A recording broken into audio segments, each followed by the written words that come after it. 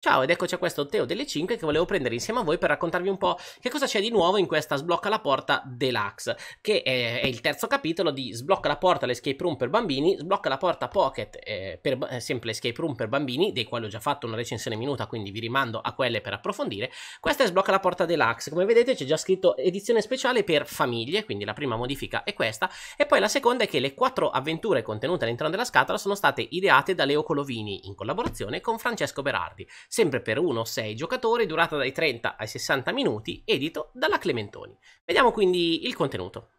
Innanzitutto vediamo che ci sono quattro maxi boost all'interno, quindi una dedicata alla casa stregata, quindi un'avventura è autocontenuta qua, un'altra è l'isola del tesoro, poi abbiamo il mistero dell'Orient Express e infine la villa di Mr. Gold. Ciascuna di esse è abbinata a una plancia, ovviamente da questa parte ci sono tutti i personaggi dell'Orient Express, dietro c'è la villa di Mr. Gold, poi abbiamo l'isola dei pirati, chiaramente come potete dedurre dal disegno, e infine la casa uh, stregata. Quindi Ogni busta contiene dei materiali molto diversi fra di loro, non vi dico niente perché c'è un bel effetto wow, quindi li trovate all'interno molto diversi, c'è, mm, c'è, proprio tanta roba, non posso dirvi di più, e poi c'è il tipico mazzo di carte, con carte numerate da 0 a 28, semplicemente voi girate la prima carta, vi dirà come inizia la vostra avventura e quale carta andare a leggere per il primo enigma. Ogni enigma vi darà come soluzione o un simbolino, e poi avrete una piccola scheda con quel simbolino che vi darà un nuovo enigma, oppure vi darà proprio come soluzione un numero, quel numero vi vi farà girare una nuova carta, continuerete a giocare carte fino a quando sul tavolo ne rimarranno solo alcune.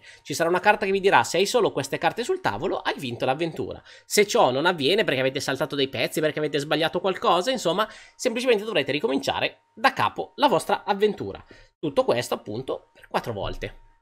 Il punto di forza di questa escape room è sicuramente un regolamento che è comprensibile da tutti. In questo caso però bisogna alzare un attimo il livello di difficoltà, nel senso che le altre volte vi avevo raccontato che più o meno con 7-8 anni ce la potevate fare, magari l'aiuto di un adulto per dare un po' forma ad alcuni enigmi un po' strani o magari posti in maniera sibillina. In questo caso invece bisogna avere delle competenze un po' più elevate, nel senso che soprattutto su 3 avventure rispetto a 4, quindi tengo fuori quella dell'Orient Express, è necessario avere buone competenze di matematica, insomma c'è più matematica all'interno di questi, o comunque della logica, logica che però prevede comunque dei calcoli matematici se non riuscite ad arrivarci subito, ci sono quelle cose che se avete un po' il lampo disegno per come ragionare, di fatto non dovrete fare calcoli, altrimenti dovrete fare o dei calcoli oppure proprio dei tentativi, iniziare a vedere se con uno funziona, se con due funziona, insomma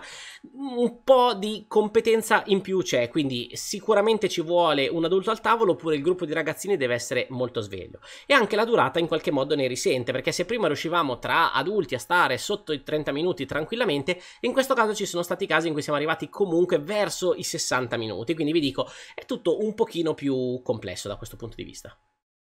L'altra cosa particolare è che proprio perché si alza questa complessità e c'è molta più matematica dentro, c'è più possibilità di errore, nel senso che nelle edizioni precedenti non mi è mai capitato di dover guardare le soluzioni per essere sicuro che avessi risposto in maniera corretta, era abbastanza lampante oppure la carta stessa ti guidava nel capire se avevi fatto giusto perché c'era una piccola trama di fondo che in qualche modo si snodava, non era particolarmente avvincente, mettiamola così, però in qualche modo riuscivate a capire se stavate andando per il verso giusto. In questo caso invece rispondere 5 invece era 6 la risposta è un piccolo errore, vi fa andare avanti l'avventura finché arrivate in fondo e scoprite che di fatto avevate sbagliato qualcosa, dovete ricominciare da capo, a meno che non vi inchiodate, ci sono anche dei momenti in cui potreste proprio inchiodarvi perché vi manca un pezzo, vi manca un altro tipo di carta, eccetera. Quindi è un po' più complesso e nel nostro caso tenevamo sotto mano le soluzioni, non tanto per vedere la soluzione stessa, ma proprio per verificare che stessimo procedendo nella maniera corretta.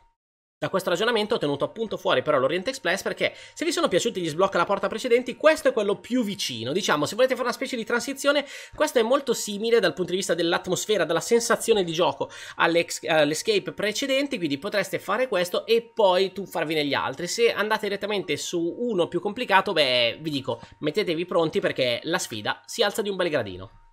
Direi quindi che chiaramente si sente che è un autore diverso che ha preparato e ha ideato questa escape room e questo potrebbe voler dire che in futuro potrebbero arrivare escape anche fatti da altri autori. In questo caso bisognerà fare molta attenzione nel capire come sono le impronte dei diversi autori per capire anche che tipo di competenze mettere in gioco. Quindi questa potrebbe essere una sorpresa all'interno della sorpresa e diciamo che la cosa mi incuriosirà. Siccome so che me lo chiederete, allora, come vi ho detto, la mia preferita è stata Orient Express perché mi era piaciuto proprio il feeling de delle altre escape di Sblocca la porta, quindi questo Orient Express secondo me la, cioè, secondo me è la mia preferita all'interno di questa scatola. Al secondo posto metto l'isola del tesoro perché ci sono un paio di trovate che sono proprio belle da scoprire e poi diciamo che metto a pari merito la casa stregata e la villa di Mr. Gold. Come vi dicevo, nonostante sia paradossale perché io sono ingegnere, nel senso la matematica dovrebbe essere il mio pane, tutta questa matematica diciamo che la vorrei segregare nella zona del lavoro, diciamo che mi aspetterei di vedere un po' meno matematica nel mondo del gioco da tavolo. Detto questo, fateci comunque una prova, fatemi sapere se la vostra sensazione è la stessa, so che in tanti la state giocando e magari qualcuno sta pensando di puntarla per Natale, quindi ditemi se sono semplicemente mie sensazioni oppure se è qualcosa di diffuso, se avete appunti da fare o magari qualcosa che ho percepito male io, ho recepito male io, insomma scrivete qua sotto, mettetemi pollice su, pollice giù e vi dico un bel ciao e alla prossima!